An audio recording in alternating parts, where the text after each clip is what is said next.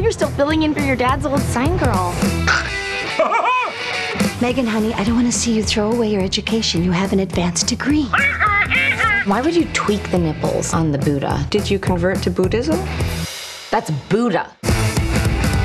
We've wasted so much time. Run off to Vegas with me.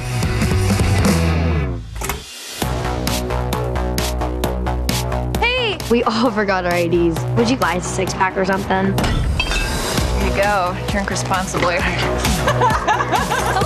If you ever want to talk, call me. I need to lay low for a week.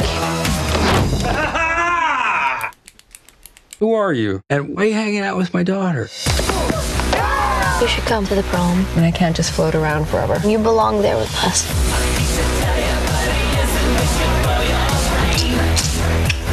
What?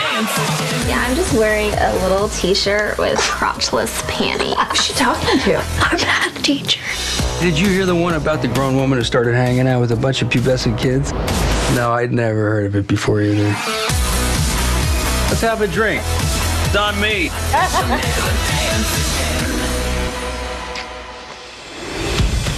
Two Mondo Chocochinos. Megan?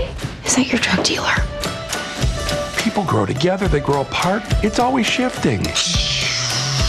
You're a divorce lawyer?